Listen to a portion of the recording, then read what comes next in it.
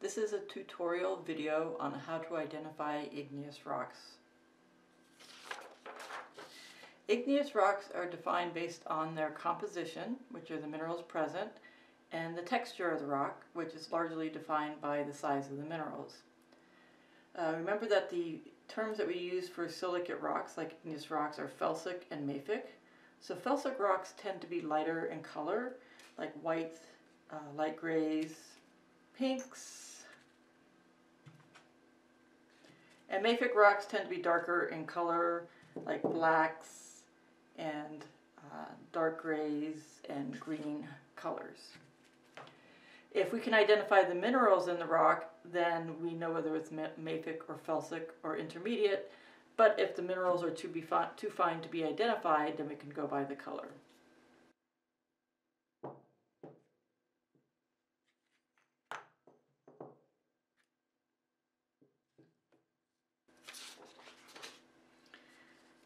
Size of the minerals in an igneous rock are determined by how fast the magma or lava cools. Deep in the earth, where the surrounding country rocks are warmer, the magma body is insulated so the heat escapes more slowly and the minerals have time to grow larger. A very large, deep pluton might take centuries or even a million, million years for the minerals to completely crystallize, and that allows the minerals to get quite large, like in this rock.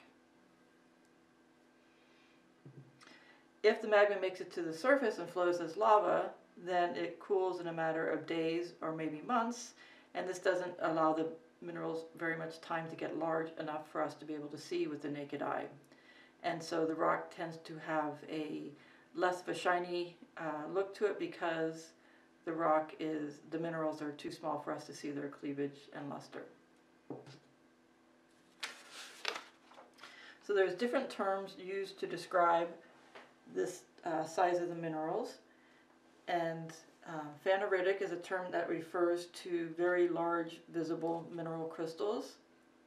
To this, this, or this. And so even if so this rock all the minerals are about the same color, we can tell that the minerals are large and visible to the naked eye because we can see the cleavage uh, faces and the glassy luster of the silicate minerals.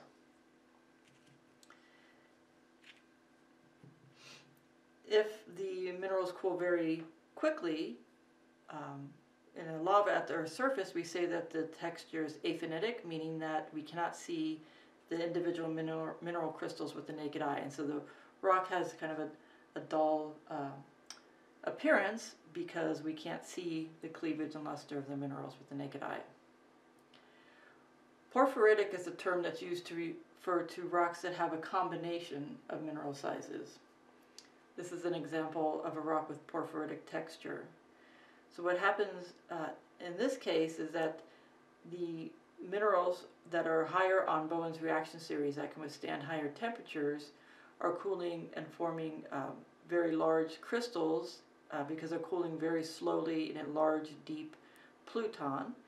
Um, but they're swimming in a kind of pool of liquid magma. If the magma rises then to the surface and flows as lava, then all of the other mineral crystals have to form very quickly and they're very small. So we say that this is a porphyritic texture. And this is considered an extrusive rock because its final stage of cooling is at the surface.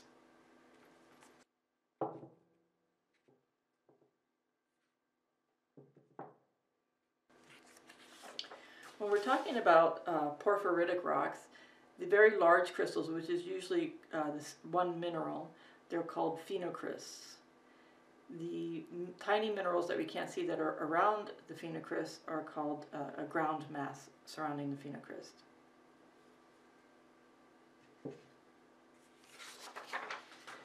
Igneous rocks can have other textures. Uh, more specifically, extrusive igneous rocks can have more textures because the lava is not always flowing effusively and uh, allowing minerals to form.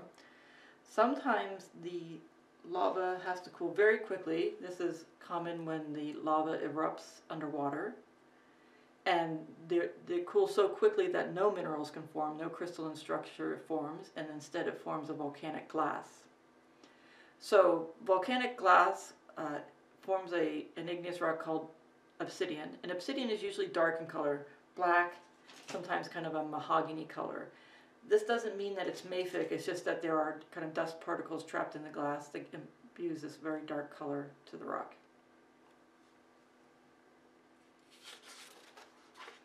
Another type of extrusive texture is when you have uh, a viscous magma and the gas bubbles that usually will rise up above the magma body and escape at the surface are trapped in uh, the cooling lava and so the rock is very low density and because the there are lots of holes in the rocks. This texture is called vesicular. Vesicular texture refers to extrusive igneous rocks that form during an explosive eruption where there's a lot of gas present. The individual holes in the rock are called vesicles. So the, the composition of the rock can vary.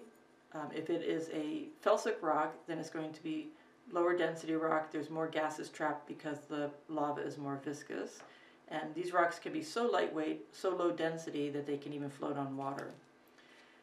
Denser forms of vesicular rocks form when gases are trapped in a, a mafic lava, as is this case, and the rock has a different name. So in general, we can name igneous rocks based on the composition or the minerals present and whether the form rock formed extrusively or intrusively. So here's a diagram that shows some common, uh, the common uh, crystalline igneous rocks that form from magma intrusively or from lava extrusively. And they're defined based on whether they're intrusive or extrusive and also based on the silica content which we can characterize as being felsic, high silica content, mafic, which is a relatively low silica content, um, or something in between, intermediate. There are also ultramafic igneous rocks that exist uh, mostly just in the mantle, very relatively low silica content. We don't get too many ultramafic rocks at our surface. If we know what the silica content of the magma or lava is, we can, I, we can predict which minerals will form. So in this diagram, it shows the silica content, felsic, 70% silica or greater, felsic intermediate, intermediate or mafic, or ultramafic, which is less than 45% silica content by weight. Up here shows the common uh, silicate minerals that form in these igneous rocks. So for felsic magma or lava, we might get a little bit of amphibole, a little bit of biotite and muscovite, a significant amount of sodium-rich plagioclase, um, even more significant amount of potassium-rich feldspar, and quartz. However, for a mafic rock with between 52 to 45% silica content, we're likely to get uh, a bit of olivine forming, uh, a significant amount of pyroxene, and some calcium-rich plagioclase. So you'll notice there are no rocks that exist that have both quartz and olivine in it because they form from magmas of different compositions.